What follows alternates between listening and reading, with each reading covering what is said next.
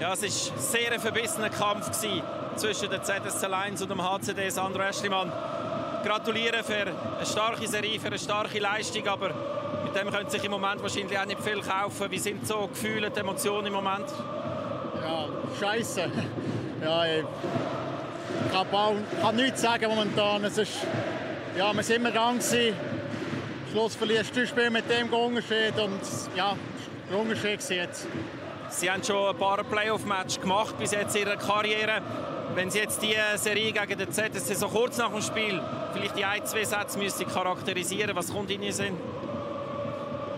Sie sind in entscheidenden Momenten besser als wir. Und äh, ja, haben sie reingehauen und ja, später jetzt. Gibt es etwas, wo Sie damit hadern jetzt, wenn Sie auf die Match zurückschauen? Ja, sicher der Overtime für die Niederlage letztes Mal. Heute, wir sind lange dran. Es ist einfach so das nötige Glück hat gefällt.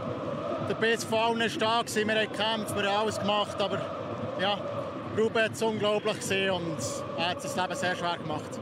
Danke vielmals. Bitte.